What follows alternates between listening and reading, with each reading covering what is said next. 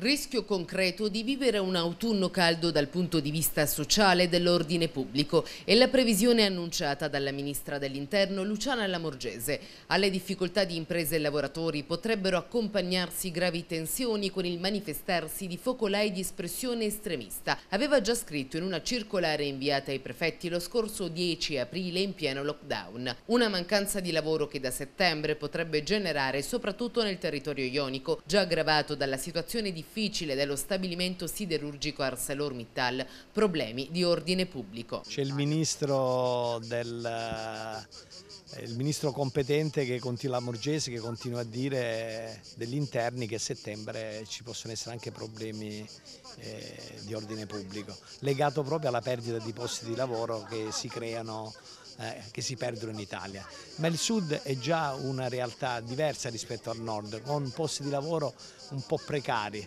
e quindi se si perdono quelli, quei posti a partire dalla situazione dell'Ilva io penso che si creeranno veramente problemi di ordine pubblico e noi non vogliamo che questa cosa accada, vogliamo che ci sia attenzione da parte del governo, prima per preservare i posti di lavoro e in secondo luogo per crearne altri, perché si preservano se si fanno gli investimenti necessari. Per il consigliere regionale Renato Perrini il lavoro si preserva solo con investimenti necessari e con il confronto delle diverse parti, sociali, sindacali ed istituzionali, senza inutili divisioni politiche. Bene che fanno a fare questi incontri per far vedere che la politica quando si tratta di lavoro non bisogna dividersi.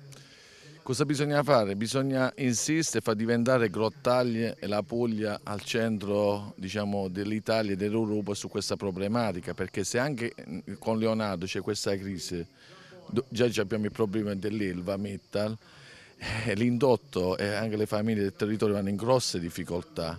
Io alcuni mesi fa avevo già lanciato questo grido d'allarme